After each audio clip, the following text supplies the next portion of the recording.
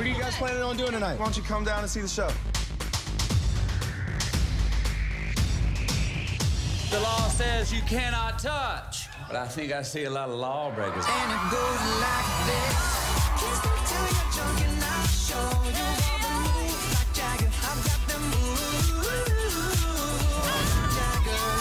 A lot of ones. No 20s. You don't want to know what I have to do for 20s. Magic Mike, rated R, in theaters June 29th.